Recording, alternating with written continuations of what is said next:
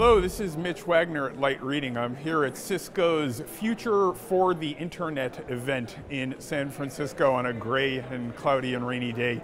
Um, just sat through a whole morning of uh, presentations here and really came away with um, an impressed feeling about the ambition and scope of this announcement and how successful this is going to be, of course, remains to be seen.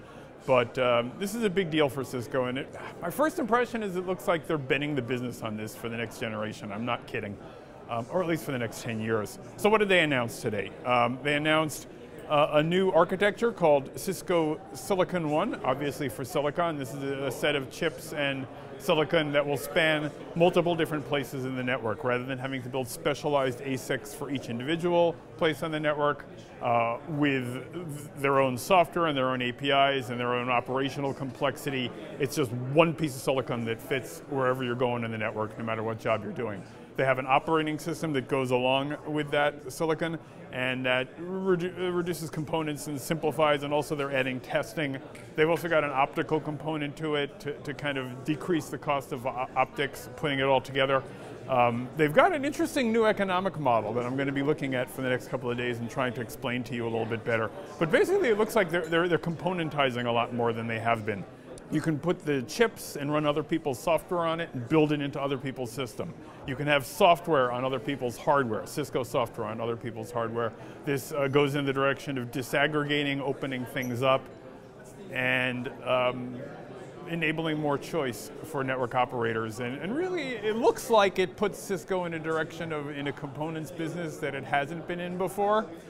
So what's the, what does this mean to service providers? Um, they talked today about the problems that you guys are already already familiar with. Basically, network demand is increasing, which they pointed out is actually good. If you're in business and people want your products more, that's great. Um, but ARPU is going down, the revenue per user is, is declining while demand is increasing. Operational costs, they said, are remaining the same.